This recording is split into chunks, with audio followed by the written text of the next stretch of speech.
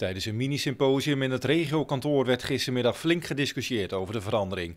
Simpel gezegd gaan provincie en gemeentes vanaf 1 januari hun krachten bundelen bij de uitvoering van vergunningverlening en handhaving.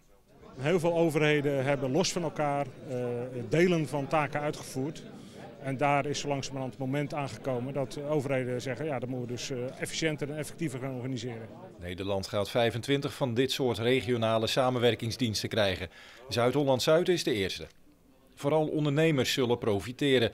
Die krijgen niet meer met zeven verschillende diensten te maken met elkaar tegensprekende regels.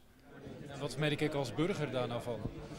Een veel scherpere uh, uh, uitvoering van taken.